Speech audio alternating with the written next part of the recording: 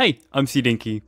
Alright people, I am back with some more Palworld news. It's been a little bit of a dry moon for Palworld since the last raid boss update, but we now have the newest, biggest update coming to Palworld on June 27th. Now let's dive straight into it, and starting off we're going to be seeing a new island. I'm pretty sure this is going to be the island with that massive tree on it, or maybe they're going to scratch that for a later date and this is going to be a brand new island that we have never seen before. And with the new island comes a bunch of new pals and predominantly in the trailer it looks like there are a lot of new dark type pals which could be quite interesting. Xbox is also getting a dedicated server and we also get a grenade launcher, a 4 quad launcher, a minigun and it looks like to be the level 100 armor because they did just say that there is going to be new buildings and a level cap so hopefully we can get to level 100 with our characters. It also looks like we're getting a new armor resistant type. This one is purple and yellow. This doesn't go to what we have with the heat resistant and the cold resistant, which is going to be orange and blue. So it's going to be a little bit interesting. I'm not sure what this could be. It could just be a cosmetic change, which is pretty cool to see. We are also getting some new subspecies. So we have a Chillet here being fire type, a Quivern here being grass type. And looks like Wixen and Katress have swapped their types. So now Wixen is dark type and Katress is fire type, which is very cool to see. We are also going to be getting a new boss raid. And this one is the Blazemore, Blazemar, whatever you want to call him. But looks like he's also going to be be dark type. And we can also see some new powers such as Goran being a fire type, Bushi being a dark type, and I, I think it's a Metastang being an electric type on the far right. But I do hope that this raid boss is going to have different elements and it's not going to be like a Bellanoir boss fight. It's going to be stuck at a dark type or a psychic type. We will also be getting a new type of stronghold. So instead of doing the cave systems over and over and over, it looks like we are going to be copying Rust and getting itself the new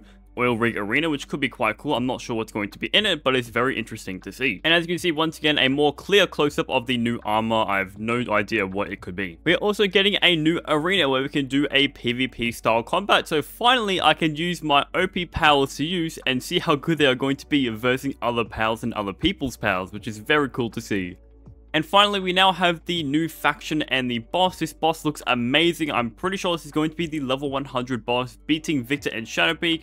I'm not too sure what the boss type might be. It might be a strict dragon type, or it might be a new celestial or moon type that they're going to add in this one world, which will be very interesting to see. Which now means that the Giga Chad Lamball still has one boss to take out before it is king of all the pals. And that there is going to be the end of the trailer. The trailer was like a minute and a half long, so they compacted a lot in this small trailer. Do not worry if they post anything more of like any more teasers, I'll make sure I'll put videos on them or make them in my community tabs. But what do you guys think about this new update? Do you think it's going to be amazing? Do you think it's going to flop? Please let me know down below in the comments. And with that said, guys, I will catch you guys in the next video.